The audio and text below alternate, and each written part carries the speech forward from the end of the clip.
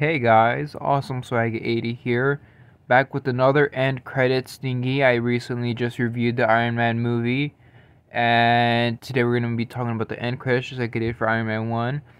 And can I just say, the end credits for the Iron Man 2 movie suck.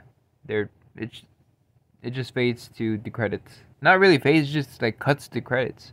Like, da da da da da da da da dun da da and then cut to the credits and that's it. Um I I don't remember like the credits being just like cut to the to the credits and everything, you know.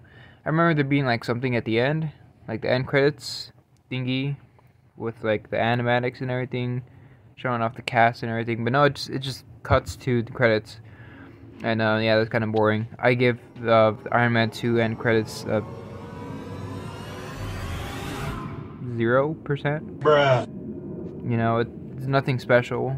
You know, maybe. It, nah, I give it a 0% because, like, I'm going to compare these to all the other ones. And I know they have some great ones.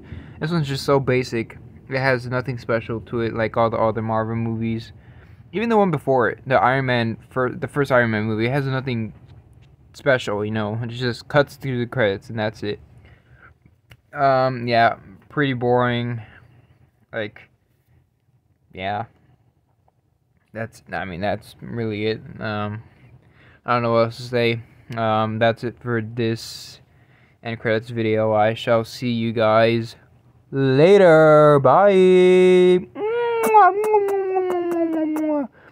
I realize I'm gonna have to edit all those kisses, and I just wasted my time for a two minute video. Shit. Alright, bye.